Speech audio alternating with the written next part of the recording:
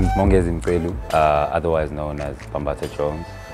I am a multidisciplinary artist, but mainly focus on photography, music, and creative direction. I'm from Diepkloof, Soweto. How I got started, for me, it was more about representation and what I wasn't seeing in the media. And that's why I kept pushing myself through blogging and just having excessive imagery of black people and just blackness on the internet because I wasn't seeing enough of that. I don't feel like we have been telling enough of our own stories, so I just felt like this is relevant for me to just use it as a lifetime project to have an archive of images of my people, I guess. My vision for the shoot is mainly to show the product. I don't want to have too many things going on, so that's why I just chose an open space so that you look at the product, you look at the subject, and that's all you're seeing and interacting with, I guess.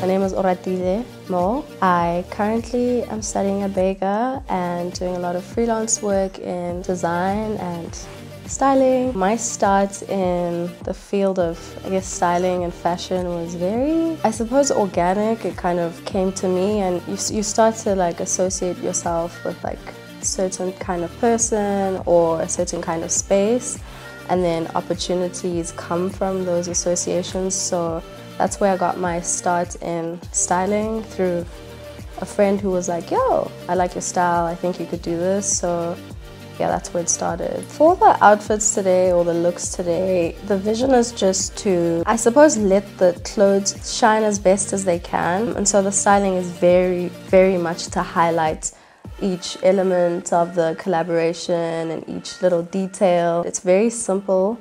Um, just to let the clothes be highlighted.